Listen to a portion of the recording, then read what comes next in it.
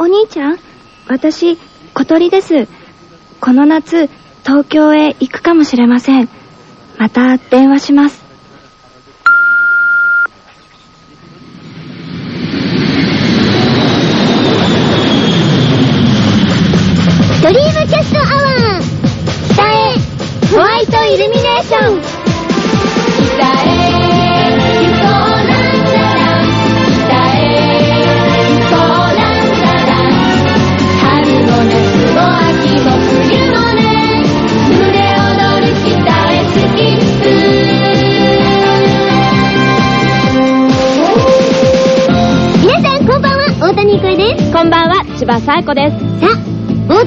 いきなり小鳥ちゃんが登場しましたけれども、ええ。実ははい。今夜から北へホワイトイルミネーション、はい。リニューアルです。ねおー、はい、いいじゃないですか。え。えーとですね、物語はうん。7月16日から始まるっていうことなんですけれども、物語って？えのね、えのねだって。えーと、これから、えー、北へをもっと盛り上げていこうということで、うん。うん。小鳥ちゃんとはいめぐみちゃんがはい。この30分間のうちのどこかに登場するどこかに。おー、そっかそっか。それで、えあの二人が東京に出てきて、うん夏休みを過ごすおというドラマおを作っていこうと。へー、楽しみだねし。かも、ええ。これはリスナー参加型です。おということは？はい。皆さんからそうなんです。おー。めぐみちゃんとか小鳥ちゃんがええ、こんなところに行ったら、どんなだろうとか、こんなうん。ことしてほしいとか、あー、そっかそっか。リクエストとリクいうか、エスト、アイディアとか。アイデアとかね、うん募集して、まあ詳しくは後ほど、そうですね。えーと、いろいろ紹介したいと思います。はい、わかりました。楽しみですね。ねうん。やったーって感じで。うん本当にうん。うん。楽しみ、楽しみ。ドキドキドキドキ。ということで、今夜も旅立ちましょうはい、行き先は北へ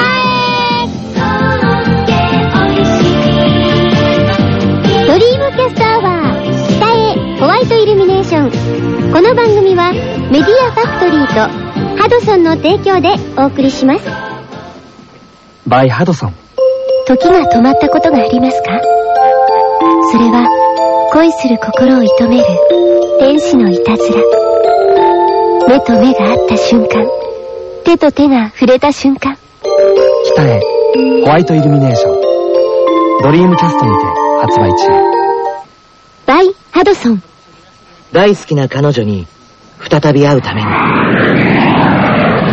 夏の北海道は緑が眩しくファインダーの中の彼女もまたとても眩しかったフォトメモリーズ8月5日ドリームキャストにて発売改めましてこんばんは大谷育恵ですこんばんは、千葉紗子です。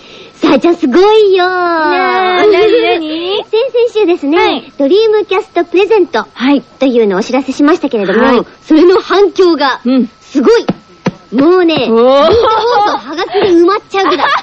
入れない、そしたら。もう、もうこうやって押しのけて押しのけてきたんだ。きたからね。もう切れて痛い痛い。ないない、ないない。そこまでひどくはないんですけど、すごかったです。はい。ええかなりの数でしたえねえ。それだけやっぱりドリームキャスト欲しいという方が多かったということでね。はい。えーなので、はい早速ですが、はい先々週の回、うんキーワードはトウキビでした。はい。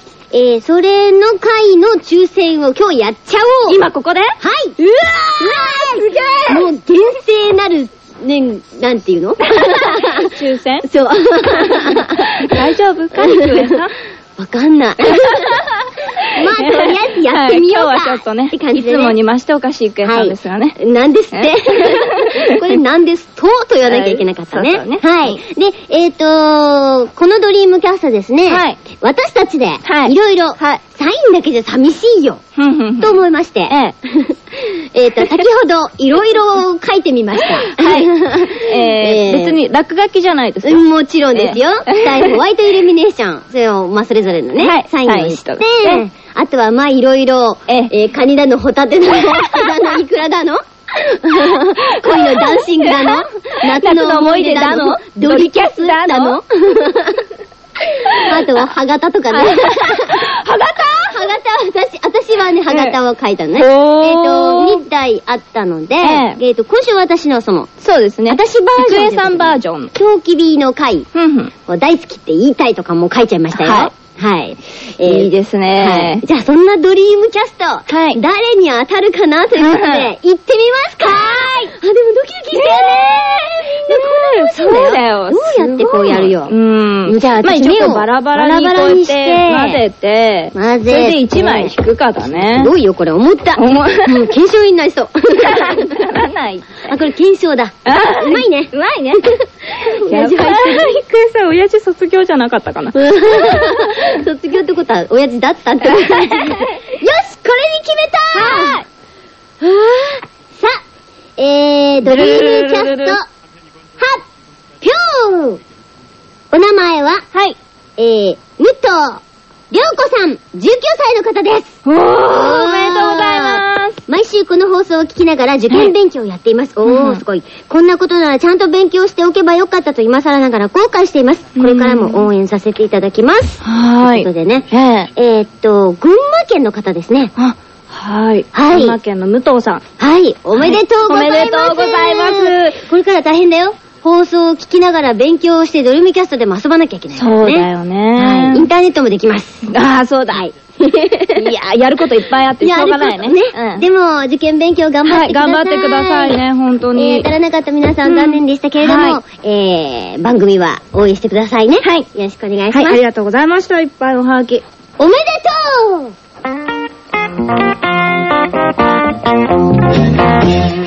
あなたが何気なく言い放ったその言葉の裏に隠された血も凍るような本音。そいつは聞き捨てならん。なんですか早速行ってみましょう。はい。えー、中野区のペンネームスマイルよっちゃんさんからのなんですです。はい。先日、友人に貸している本を返してもらおう。としたとき、なあ、そろそろ本返してくれよ。僕がそう。言ったら友人は、びっくりした顔で、えまだ覚えてたのなんでしたなんで友達だろう。うわぁ、もらっちゃおうと思ってたんだね。やるなぁ。すごいな。今度使ってみよう。うわ、怖増えていきます。はい。えー、茨城県のペンネーム本名で郷さんからいただきました。子供の頃、霊柩車を見て祖母に、うわぁ、大きくなったらあんな車に乗りたい祖母答えて曰く、大丈夫、年取ったら乗れるから。なんですと確かに、確かにそうだよ。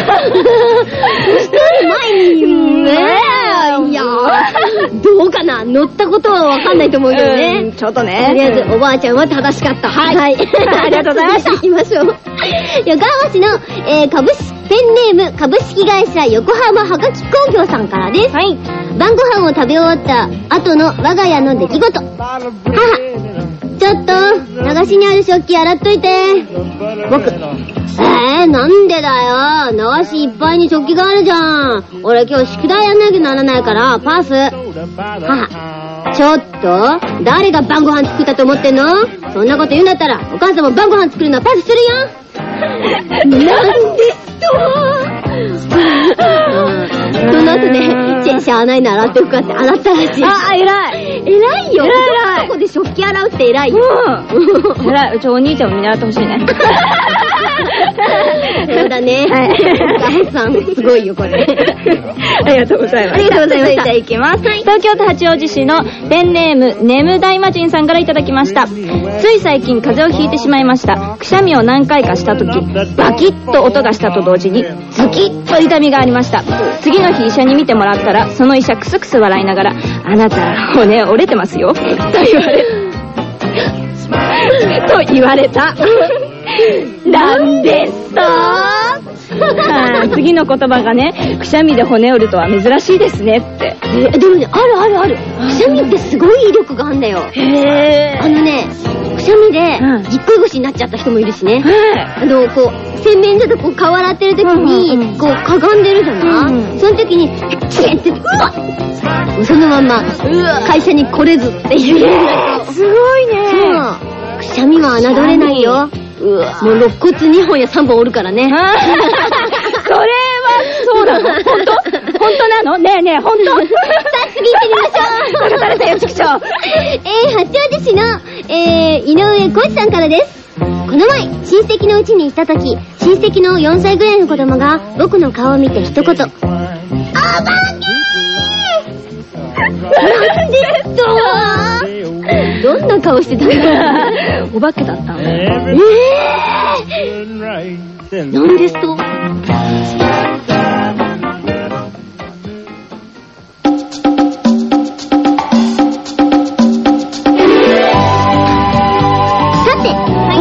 でですね、えー、最初冒頭で言いました、ドラマのお知らせをしたいと思います。はい。はい。えーとですね、はい。この物語はですね、はい小鳥ちゃんとめぐみちゃんのサブストーリーということで、はい。えっ、と、このラジオでしか聞けない。はい。うん。うん。そして、はい。皆さんも参加ができる。そうなんです。うん。つまりですね、みんなに考えてもらわないと先に進まないと、進めないんですね。いろんなエピソードとかアイデアをね、い、っぱい欲しいんですけど、はいそれでこうドラマがこう作られていくんですけどね。はい。えっ、と、とりあえず、物語の舞台は、うん。うん。夏の東京。はい。うん。小鳥ちゃんとめぐみちゃんが東京に出てきて、うん何かをすると。そう。何しに出てくるんだろうねとか。本当だようん使命があるのかとか。使命が なんか違う話になってあとでどこに住むかとかね。あ、そっか、1ヶ月ぐらいいるわけだから、やっぱそうどっかに住むんだもんね。うんホテルにずっといるわけじゃないだろうしそね。れもいいね。あ個人的な自分の意見でね。うん。あと、まあ、どの街で暮らすか。そうだね、東京といってもでもね、広いからな。広いからね。うんどの辺都心か、うんちょっと離れた郊外みたいなところとか。そうだよね。そうなんだよね。どんな人に会うかうん。とかさ。うん。何するのかな？何するのかな本当に二人で出てきて。二人一緒に出てくるのかな？別々に来るとか。それもね、どうなのさ？って感じよ。そうなのよ。で、一緒に同じとこに住むのか、うん。別々に暮らすのか、小鳥ちゃんは、ん。なんかお兄ちゃんのところに行くとかないのかな？おー、限定1名様？え ちょっと待って、めぐみちゃんはどうなの？そうしたら。めぐみちゃん。追っかけてくるわあ、けだってめぐみちゃんは、ほら、東京に小さい頃は東京に住んでたんだから、うん。お友達とか親戚とかねいるよきっといるよね。自分だけお兄ちゃん独り占めうん、別にそういうわけじゃないんだけど。ね。うん。ね。うん。そうなん。ですよ。恋とかするのかなあー、どうなん。だろう。なん。かやっぱこう、やっぱ知らない街に出てきて、人がいっぱいいるじゃない、東京って。で、こうやってつかつか歩いて、周りを見ながらつかつか歩いてる時に、ガーンとか言って肩でぶつかった人とかありがちありがち。もうみん。な当たりまくっちゃうね。骨折とかなん。か、危ない危ない。もう転ん。だりとかいろん。な手を変えてね、ハンカチ落としてみた。なん。かこっちから引っ掛けようとしてるのか。そん。な子たちじゃないよね。違う違う。何か他の目的があってくるん。だよ。そうなん。ですよ。だから、まあ、それぞれのね、あの、北へのホワイトイルミネーションやってもらった、リスナーの皆さん。の心の中にある、小鳥ちゃん。とか、ん。めぐみとか、うん。なんか、こうして、どこの街に来てほしいなとか言ってみて、うん。なんか、お祭りに行ってほしいとかああ、そうだね。花火一緒に見に行きたいとか、なんか夏のなんか、どっかでこう、風鈴が鳴ってたり、そうめん食ってみる。うーん、それはなんか、まあいいね。まあね、どっかでこう涼んでるところを、なんか、拾っちゃったとか。何を拾っちゃった？だからそこでこう落としたものをはがき拾う。大切なハガキを、えで、その子を探しに行くとか。なんかそう、なんかよくわけわかんないの。ではそんないろんな思いをはい。寄せていただいて、はいそうですね。ええはい。しばちゃんがまとめる。はい。そうですね。ええはシナリオをね、作ってくれるっていうですからね。い。はい。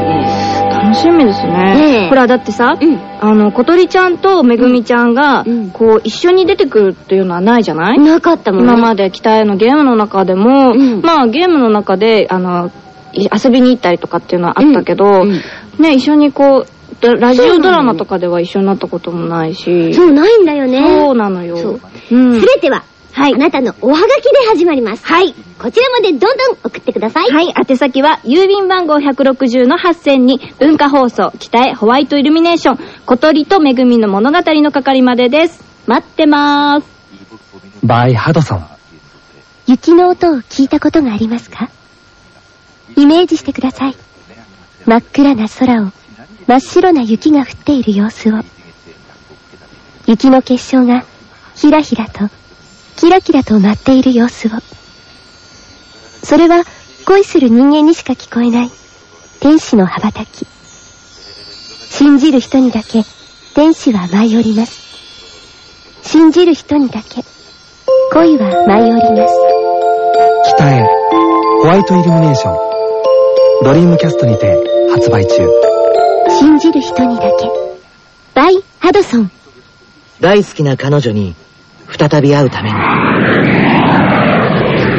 地平線をバックに彼女を撮ろうとして気づいたら彼女のアップだけを撮っていた北へ、 Photo Memories。8月5日、ドリームキャストにて発売。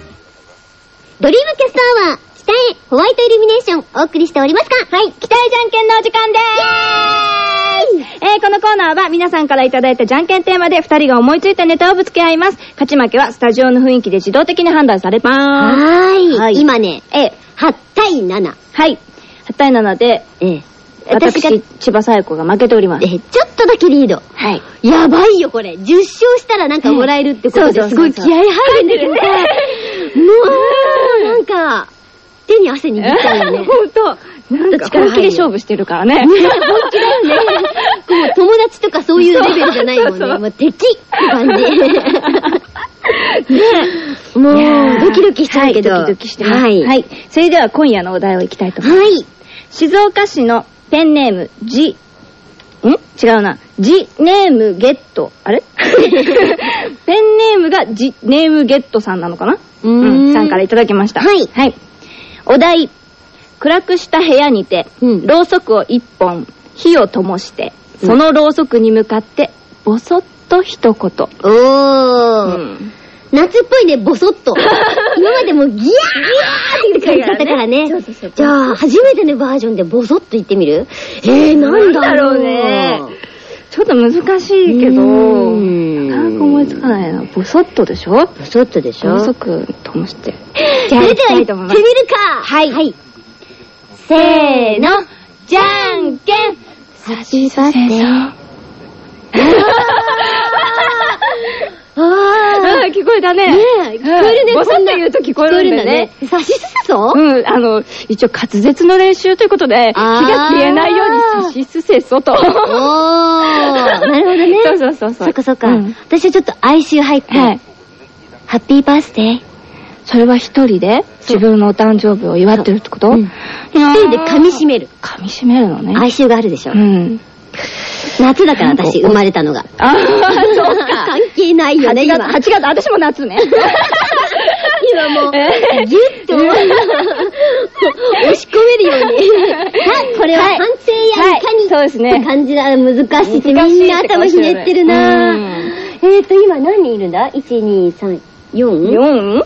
4? じゃあ、せーので刺していただきましょう。せーのおい、引き分けだよ !2 対 2? え、ゴイさんどっち刺してんの？あー、2ああ、対2だ引き分け初めての引き分け。ほんとだ。どうすうんるこれ？じゃあ、あの、一個ずつこう、足すっつうの。足して、リーチにすんの？嘘ダメだよ ダメそんなのみんな首振ってる。悔しい。じゃあ、これ1引き分けということで。引き分け。はい初めてだね。はいはい。来週お楽しみに。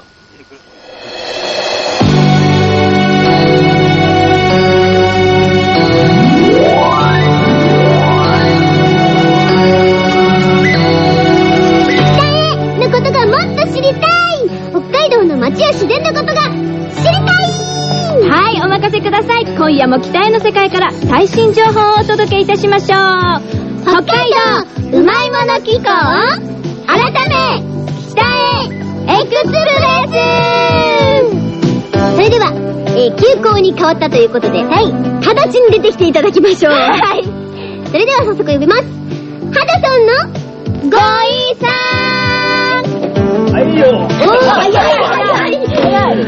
いさすが急行どうも、こんばんは。こんばんは。よろしくお願いしよろしくおま願いします。北のロイヤルクラブサンドこと、はい。カドソンのごいでございます。す。ロイヤルクラブサンドにサンドイッチ、マン、サンドイッチマンから格下げ？揚げ？揚げだよ。揚げだね。合ってるよ、美味しいもん。あ、そっか美味しい。でもね、かはい、覚えられないよ。ごめんなさい。いやいや。じゃあ、あの、ハムサンドぐらいにしとく。いいね、ハムサンド大好き。サンドイッチ盛り合わせで。あ、わかりました。てんこ盛りね。はい。ね。はいあの。チャットをするときにね、はい比較的僕はこのサンドイッチ系のハンドルをそうですね。はいよく、そうだよ、そうだよ。この間チャット。といえば、そうです。お、やりましたね。お。計さんの目がイケイケしてこの間ホームページで、うんえー4回目のチャット、はいちょっと久しぶりだったんだよね。うん。をやって、すごい盛り上がったんだよね。盛り上がりまそうなしたね。んですよなんかね、私たちも上手くなった。そう。みんなも上手かった。みんなはみんなは前からうまい。上手かった。すいません。でもね、すごいなんか会話とかがポンポン弾んで、すっごい楽しかったよ。うん。参加できなかったけど、あの、外から覗いてた人とかも結構いっぱいいるのよ。あ、本当うんにで。も評判良かったから、うん次もどんどんやりたいなや。りたいですね。うん。で、あの、ドリームキャストから、あの、入ってく、来てくれてる人も結構いたので、うんうん多分このラジオを聞いてるひ、くれてる人は、ドリームキャストも期待も持ってると思うので、うんうん多分どんどん参加できると思うのでね、はいうん、どんどん来てほしいなと。そうですうね。ん。うん。そうそう。それでね、掲示板の方、伝言板か。はい。うん。の方にね、ちょっといい書き込みがはいあったので、はいそれを持ってきてみました。おはいー。まあ、なんて綺麗な紙。じゃあ、はい。サイコちゃんに読んでもらおうかな。あらあら。私がはい。えーと、ハンドルネーム、マータンさん。はい。何なんだこのタイトルはって思われた方たくさんいると思います。ちょっと格好つけすぎたかな。ってなわけで本題。ここには北へをこよなく愛するたくさんの方々がいると思います。そこでぜひ聞いてみたい。皆さんにとっての北へとははたまた北へについて思うこと、感想などなど、とにかく何でもいいです。みんなで書きこし合って、お互いのことをちょっとだけ知ったり、他の人の思いを知って、新たな発見をしたり、共感したり、って何かいいと思いませんか？ひょっとしたら思うのはオイラだけか？はたまた新しい人が覗きに来た時でもしっかりセールスポイントになっちゃったりして。てなわけで、こんなつまらなそうな企画ですが、レスよろしく。うーん。一番最初の冒頭のっていうのええはなんか題はあるの？そう、あのね、うん。みんなの思い。てんてんてん。なるほど。うん。それでなんかじゃあいろんな人がいっぱい書いてくれてるのを持ってきてくれたんだ。うーん。一番初めにこの人が、はいこう期待に対するこういう思いをあのこういうの書いてくれて、はいそれに対してみんながね、はい。あのいろんな思いを返しレスをつけてくれてるんだけどさうーん。あとね僕の方からもじゃあ一つね、はいうんとゆうさんっていう人がこれにまたレスをつけていて、はいあの私は北をプレイして何よりも北海道というところに対するイメージが大きく変わりましたね、うーん。で今までその北海道っていうところにはその寒いとこぐらいのイメージしかなかったんだけれど、うん。そのニュースとかバラエティで北海道という言葉へなぜか反応してしまう、うん。で北へは北海道への価値観を変えてくれたゲームだと言えると思います。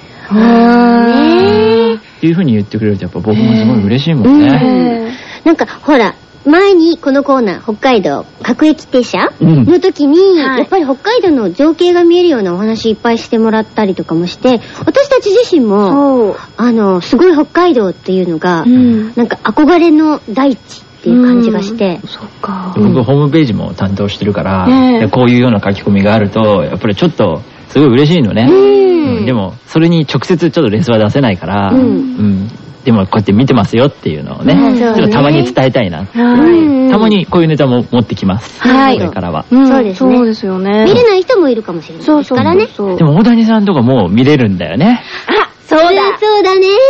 デビューしましたね、ついに。インターネットデビューをいやはははイエーイ でもまだ何のことやらっていう感じ全然時期見れますよ、そうそう、これ頑張ってみますちょっとずつね。はい。ちょ言うてる言えてないけどね。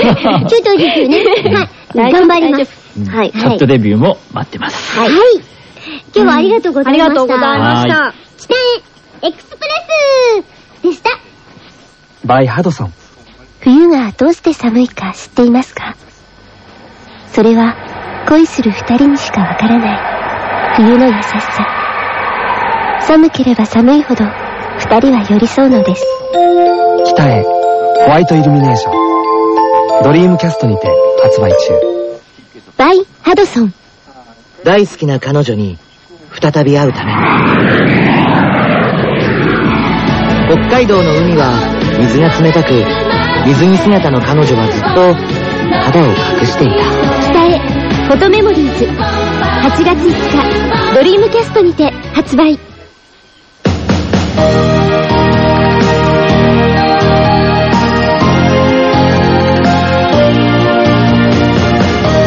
ホワイトイルミネーション、お送りしてきましたが、いかがでしたでしょうか？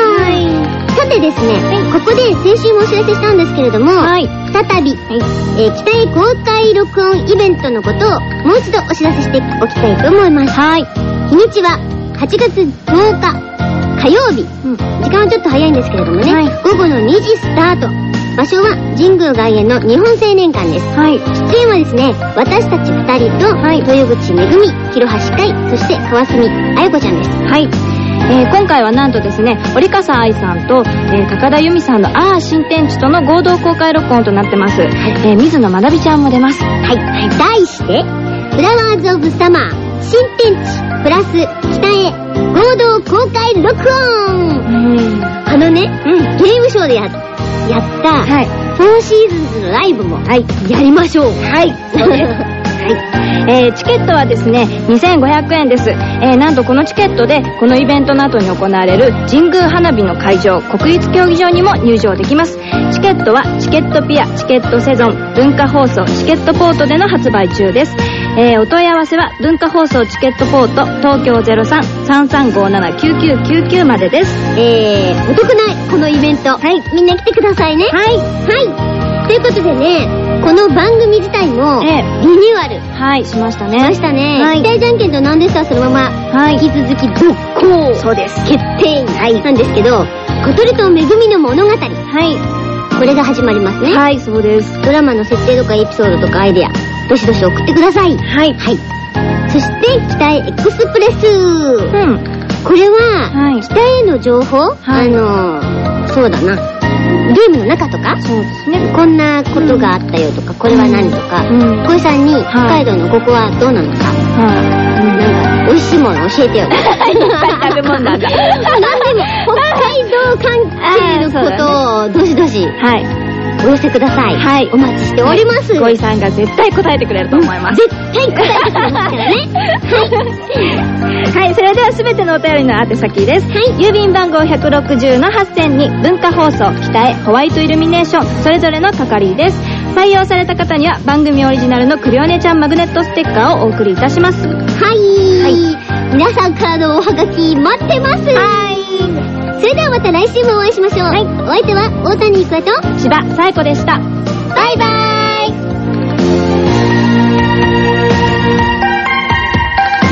ドリームキャストアワー北へホワイトイルミネーションこの番組はメディアファクトリーとハドソンの提供でお送りしました。